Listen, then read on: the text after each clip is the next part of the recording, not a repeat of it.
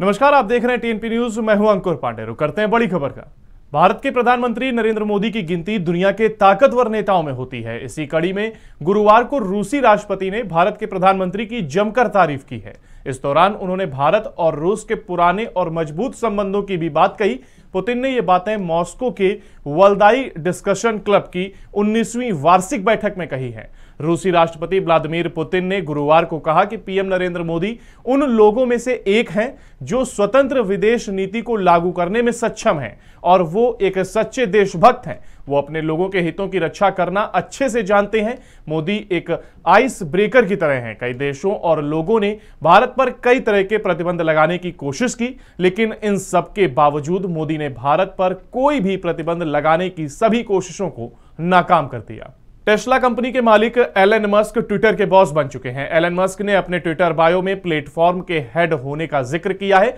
वहीं इस बीच अब खबर है कि एलन मस्क ने ट्विटर के सीईओ पराग अग्रवाल सहित कुछ बड़े अधिकारियों को पद से हटा दिया है। वहीं अमेरिकी मीडिया रिपोर्ट्स के मुताबिक सीईओ पराग अग्रवाल के साथ पॉलिसी चीफ विजय अगाडे को भी निकाला गया है। पराग सहित निकाले गए बड़े अधिकारियों को सैन फ्रांसिस्को हेडक्वार्टर से भी निकाल दिया गया है। इन अधिकारियों में सीएफओ नेड सेगल भी शामिल हैं।